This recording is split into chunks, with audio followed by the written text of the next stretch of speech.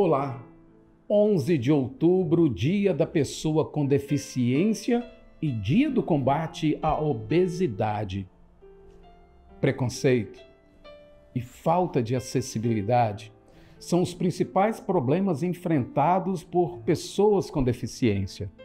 Quanto à obesidade, as campanhas pedem uma movimentação para acabar com o uso de linguagens ou imagens estigmatizantes e que se comece a retratar a obesidade de maneira justa, precisa e informativa.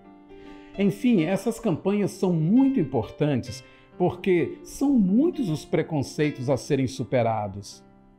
Mas todo dia é dia de combate ao preconceito irá existir preconceito enquanto existir ignorância. Por isso, a educação, o esclarecimento são passos muito importantes. E você? Que tipo de preconceito você enfrenta? Mas que tipo de preconceito você identifica em você? Comenta aqui no meu Instagram, Padre Elias. E para você, fé e afeto? Sempre